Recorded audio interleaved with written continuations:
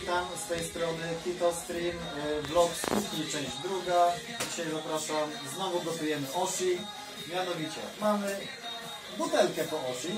Nie pytajcie dlaczego jest nadpita, ale ja wam pokażę dlaczego. Mianowicie bierzemy sobie nadpitą buteleczkę i najlepiej nadpitą buteleczkę coś uzupełnić, żeby znowu była pełna.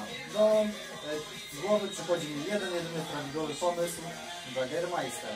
Nie jest to film sponsorowany. Jak coś, to się odezwijcie. Eee, ogólnie przepis jest całkiem prosty. Potrzebny jest zlew, żeby kurwa nie rozlać znowu na podłogę i wlać odrobinkę, ciutkę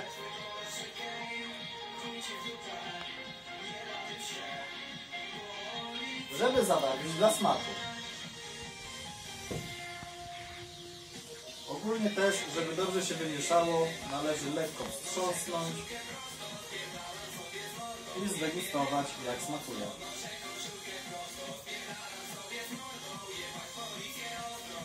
Zajebiście, polecam. Więcej przepisów znajdziecie na tym kanale.